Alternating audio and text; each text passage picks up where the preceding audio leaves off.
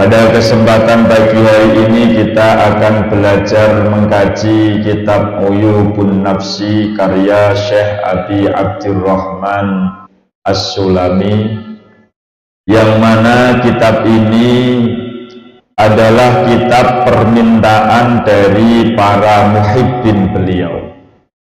Jadi di antara tradisi para ulama soleh salaf zaman dulu setiap kali mereka diminta oleh al-asdiqo teman-teman dekat mereka maka mereka akan menyanggupi permintaan tersebut.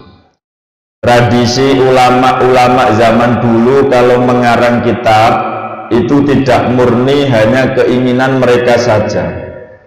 Tetapi mereka ngarang kitab itu dikarenakan ada permintaan dari para muhibbin para orang-orang yang senang orang-orang yang percaya kepada beliau. Kita ambil contoh misalnya takrib yang kemudian disyarai Fathul Qorib komentar yang disampaikan Abu Suja beliau mengatakan faqad sa'alani ba'dul asdiqo orang-orang yang percaya pada saya meminta kepadaku. Begitu juga dengan kitab-kitab yang lain.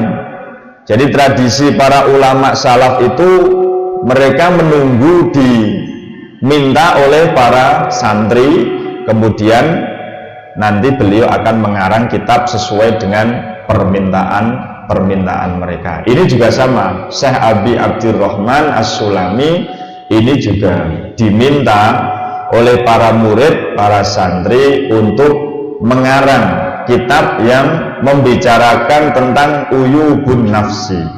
Uyubun nafsi itu artinya adalah aib-aib yang ada pada diri kita.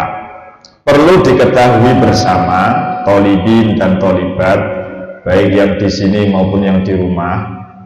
Ngaji saya ingin ngono modelnya ora posonan iku awake tapi atine melu posonan. Kula mboten nate bayangno kan ana model posonan lek online ini urung kan. tapi kok delalah karena barokah corona bu barokah murah nah itu kok model ono seperti itu.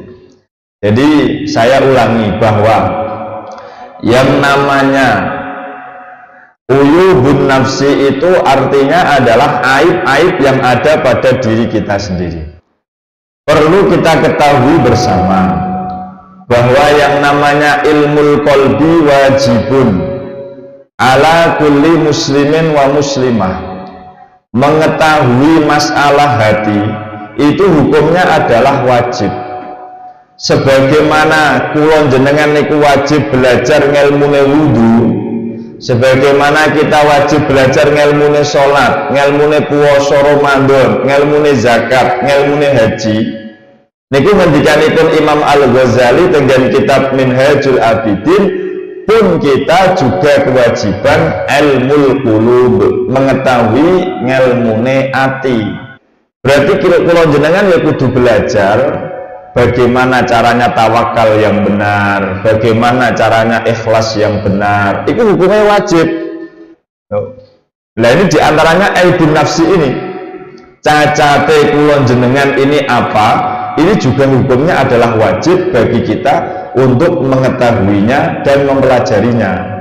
Bahkan bahasanya beliau mengatakan fardu ainin itu hukumnya adalah fardu ngain wajib secara ainiyah secara kahanan eh, kulon jenengan juga berkewajiban yang sama untuk mempelajari ilmu-ilmu tersebut karena apa?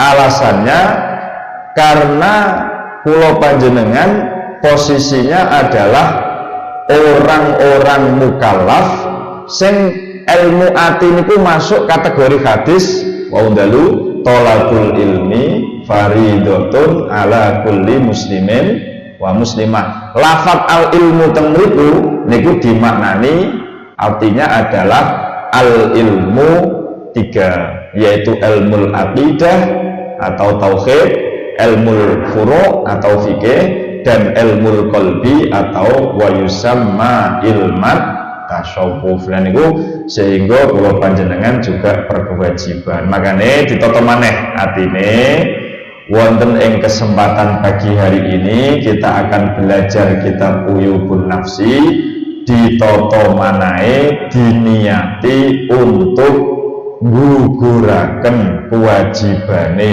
belajar ilmu ati men slamet atine sehingga pinaringan slamet awet ana ing dunyane dumugi akhirate amin Allahumma amin. Mergo